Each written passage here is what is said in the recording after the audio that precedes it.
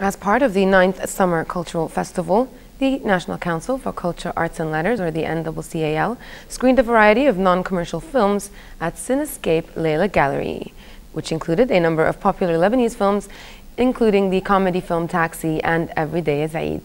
The 9th Summer Cultural Festival also featured an array of cultural activities, including photography exhibitions, live dance performances, acting, art discussions, as well as other fun and engaging activities.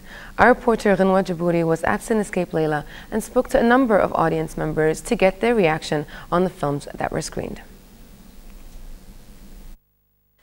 The ninth Summer Cultural Festival, organised by the National Council for Culture, Arts and Letters, has highly impressed and entertained individuals due to its resonating ability to provide a platform that enhances one's cultural knowledge educational knowledge and expose them to a mosaic of aspects in the arts and literature arena.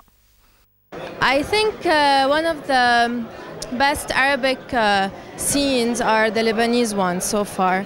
Uh, you have the Egyptians, but I but I trust in the Lebanese movies, and I feel that the either the directors or the producers are investing a lot of time and money on this on this particular things right now. Um, they're investing more money in the Western movies, but nowadays I think the Arabic movies are like they're well aware of the importance of this art and they're investing in it a lot. So I think uh, you have lots of uh, great movies going showing right now you didn't see before.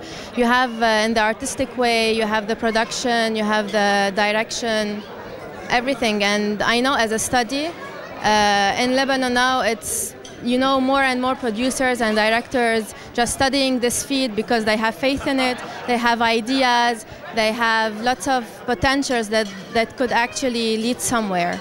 And I feel that it's going somewhere soon, hopefully. it's, uh, I think it's full of comedy. Uh, the main thing of Lebanese movies is like it's comedy. That's what they uh, really like focus about. As part of the festival, a number of Lebanese films were screened at Cinescape, bringing the audiences films that are not only popular but engaging and cultural. It's very nice, and I was amazed by this movie. It was very surprising. All right, uh, the, the, Lebanese movies are they try to show you the, our traditions, how do we live, all right. But this movie was not uh, as we as, uh, as I thought. That's it uh, our, our, our Lebanese movies, as I said, they show us our traditions, how we speak, how we um, communicate with each other.